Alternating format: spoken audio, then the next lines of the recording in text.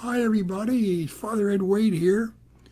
It's uh, 7.15 Thursday night. I have uh, on the 20th of uh, 20th of August. And the result of my doing this this this uh, video tonight is based on a I had a terrible night sleeping last night. Uh, I just laid I lied in bed and just was kept on thinking about all that's going on in the world and um, and the thought came to me about a video. And uh, based on what I've been seeing, I mean, you know, I, I've always been apolitical. I don't get into politics, but I don't know how you can separate myself as a priest and a human being and I'm an American with what's going on in this country and not just the world. We see more division. We see the Jews against the Arabs.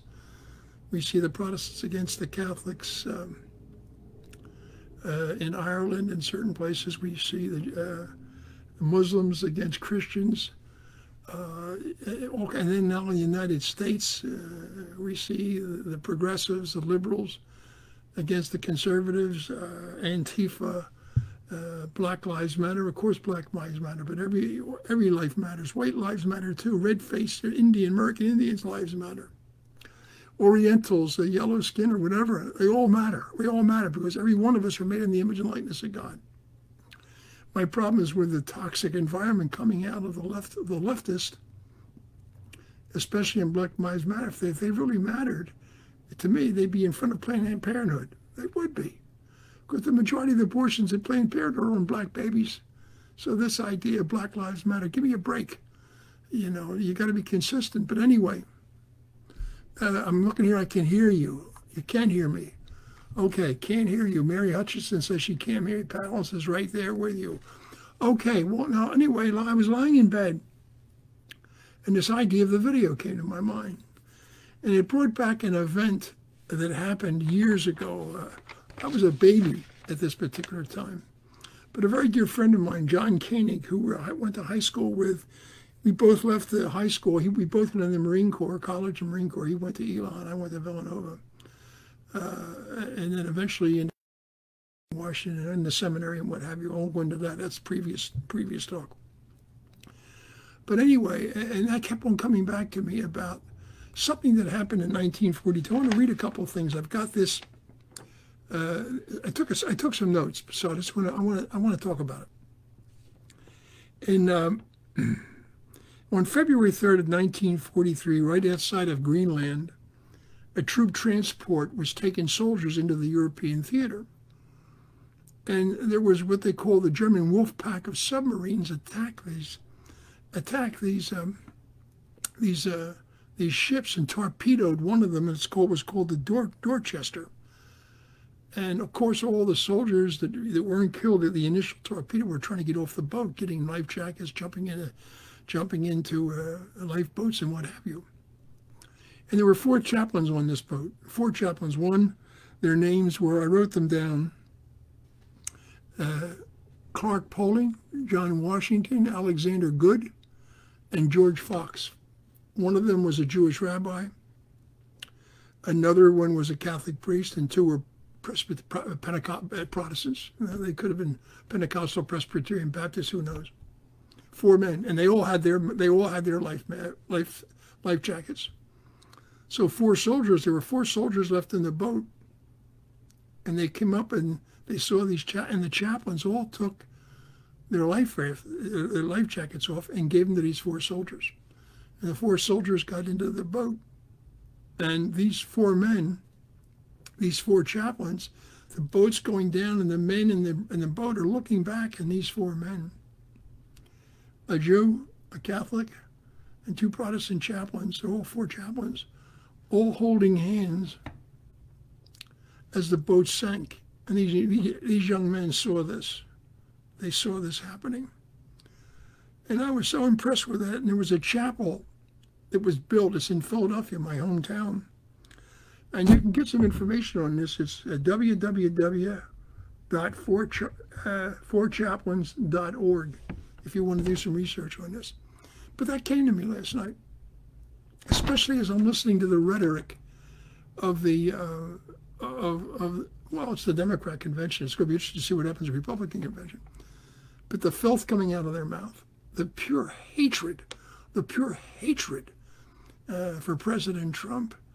Uh, and, the, uh, and the, I'm repeating myself, the language and the bitterness and the advancement of Marxist socialism. That's so evident uh, with what's going on in here. So anyway, the, the, the you see this you see this kind of stuff happening, and uh, they're, they're going to try to unify the country. And I'm laughing. I, tell you, I was almost on the floor laughing. They're going to unify the country, Chris.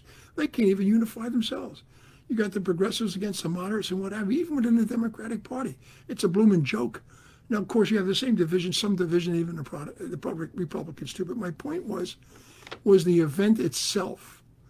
And I'm and I'm thinking as I'm lying in bed and I'm thinking to myself, well, what's going on here in this country is going on in the heavenlies. If you read uh, the book of Revelations, chapter 12, the whole chapter about the beast, the, the beasts and the dragon being uh, being thrown out, the devils being thrown out into the earth to wreak havoc, going to the women and her progeny. You got to read it.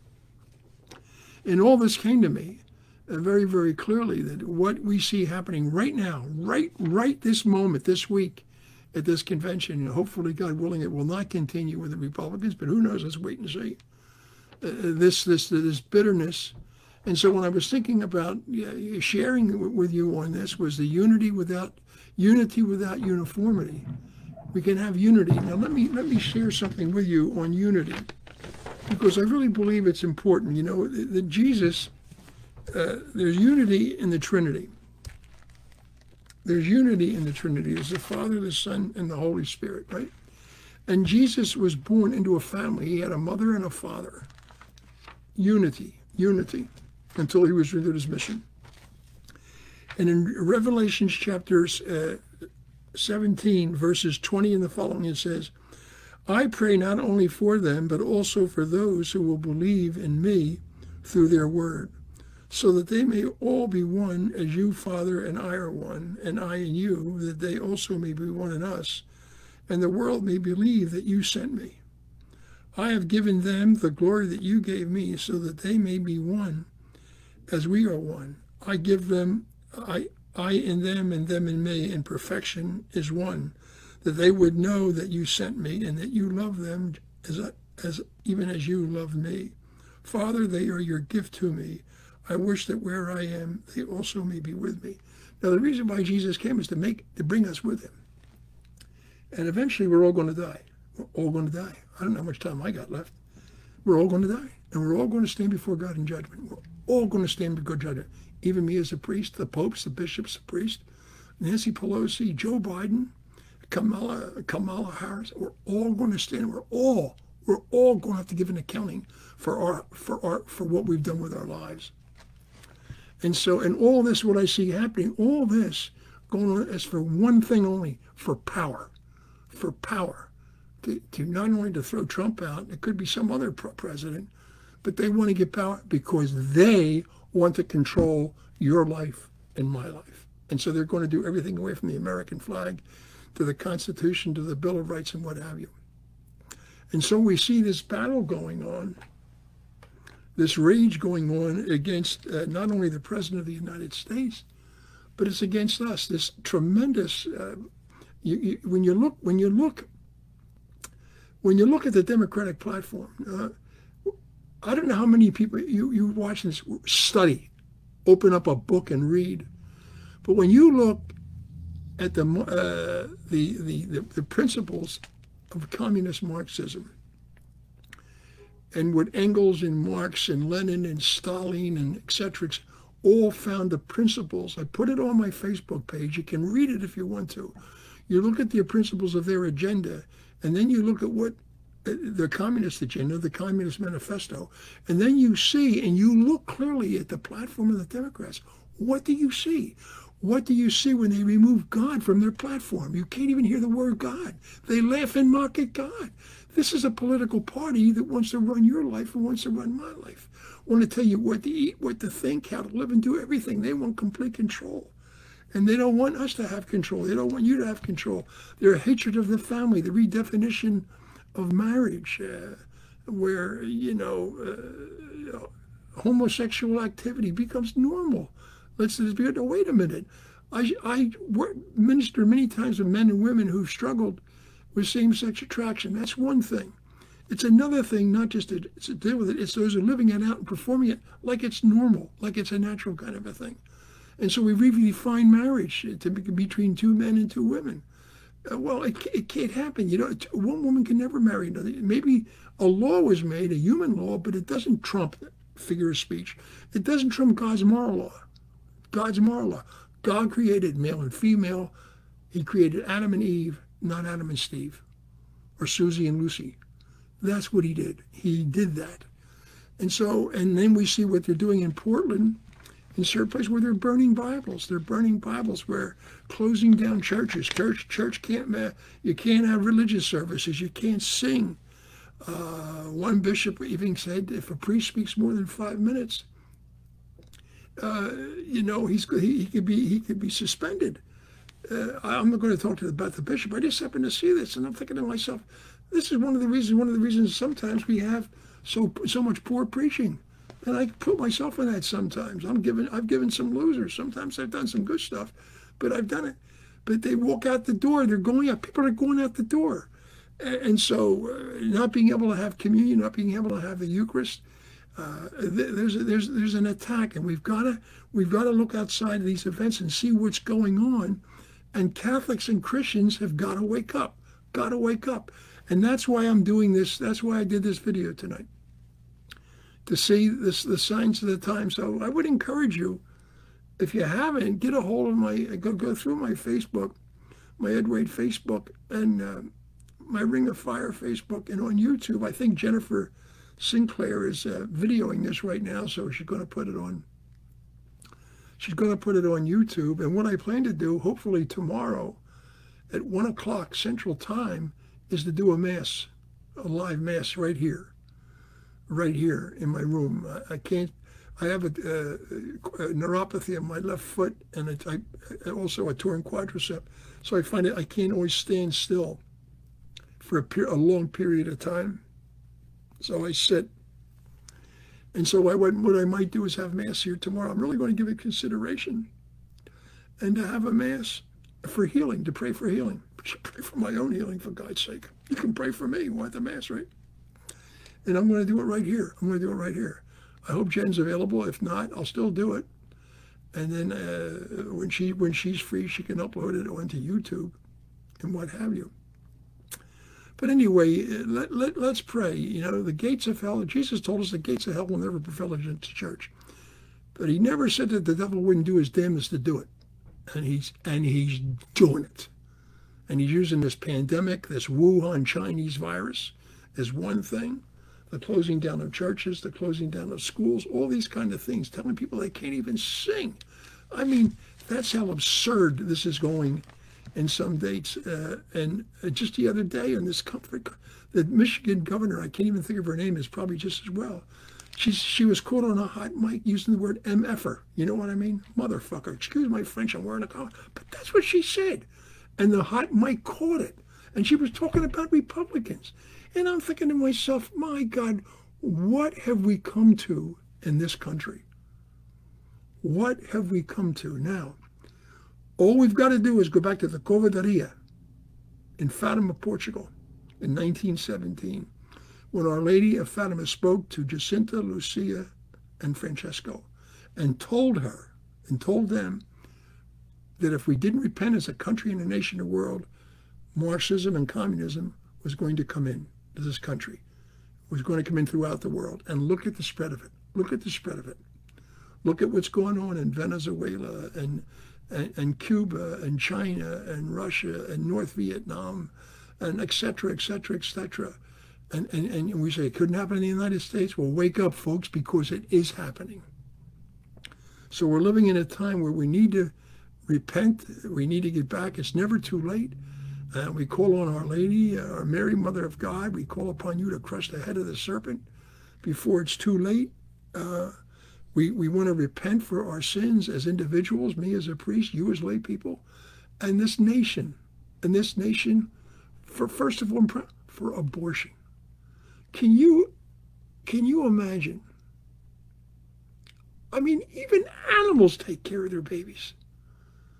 And we've come to the point, either through contraception where we don't allow a baby to come into life, or we abort them before they're born, or even after they're born, we abort them.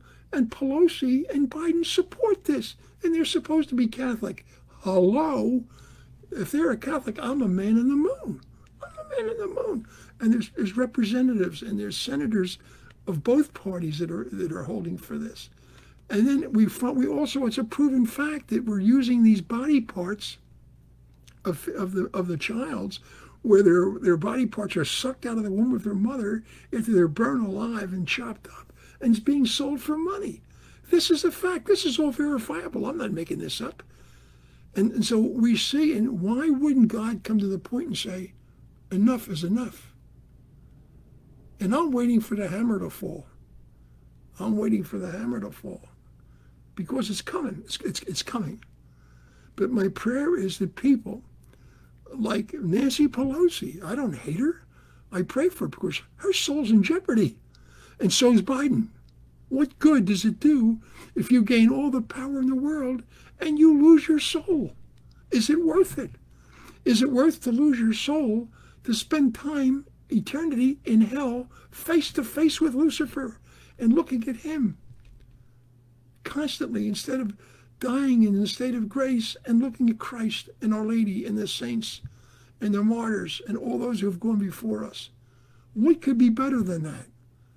But you see, we choose to do it. Now, Christ isn't going to send us there. We're going to send ourselves by the choices that we make. And so I feel very much alerted that I'm called to do this. People sometimes say, even priests, you get political, you're political. And I said, well, I want to be with the people. I, yeah, of course I want to hear confessions and say mass and and and, and uh, baptize and stuff like that. I'm, I I love that kind of stuff when I'm able to do it. But I really realize that the people are in the trenches out there, the lay people that are watching this, husbands, wives, they're out there. They're being eaten alive by the politicians, school boards, and what's going on out there. There's a paradigm shift. And we're not going to speak up. We're playing games as bishops and priests and that we're, we're afraid to talk about this stuff, there go I by the grace of God. I keep on looking at the book of Ezekiel. If I tell you to say something and you don't say it because people are lost, I hold you accountable. And I got to give an accounting for my priesthood, his priesthood that he, he gave me. I got to give an accounting for that. And so I'm, I'm, I'm coming, I'm coming, quote, out of the closet in the sense I can't play it safe anymore. I don't want to play it safe. I don't want to play it safe you know, yeah, well, Father, some, somebody said they're going to come and get you and throw you in jail and kill you. They're going to come and get you. And I said, well, yeah, maybe so. But they didn't think, did they do that to Jesus? Did they do that to Peter, Paul, and the apostles? Look at the martyrs. Well, look at the martyrs. Anyway, there I go again. I'm giving a homily, and I didn't mean to do that.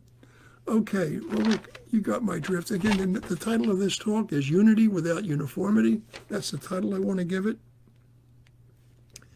And let me just give you the names of those four chaplains who gave up their lives, who gave their who gave their life jackets. Charles uh, Clark Poling, John Washington, Alexander Goode, and George Fox. And this was on February 3rd, 1943, when the Wolfpack submarine sunk their ship and they willingly gave up their lives. And the last thing that they, these soldiers and uh, Latinos, probably blacks, whites, red, Indians, looked back and saw these four men embracing one another going down. Greater love it has that no man who lays up his life gives his life for someone else. And are we living in those times? Yes. We are living in the great historical confrontation of St. John Paul II when he said in 1976 at the Eucharistic Conference in Philadelphia, Pennsylvania, prior to becoming Pope and then a saint, he said, we are living in the greatest historical confrontation humanity has ever known. We are now doing battle with the church, the anti-church, the gospel, the anti-gospel, and the Christ and the antichrist. And God's providence is letting this happen. You can, you can read that whole text what it. So anyway, Lord Jesus, I ask your blessings upon those people that watch this video. And Lord, watch over them. Raise up, raise up saints among our lay people. fathers, mothers, grandfathers, grandmothers, teenagers, young people. Raise up saints of the laity, and I just want to be with them, Lord Jesus. I want to be with them. Wherever they are, I want to be. I want to be in the foxhole with them. May the blessings of Almighty God, the Father, Son, and the Holy Spirit be with you. Amen. And think about that Mass tomorrow 1 o'clock Central Time that I'll be doing here in my room for you, praying for healing. God love you and God bless you. Amen.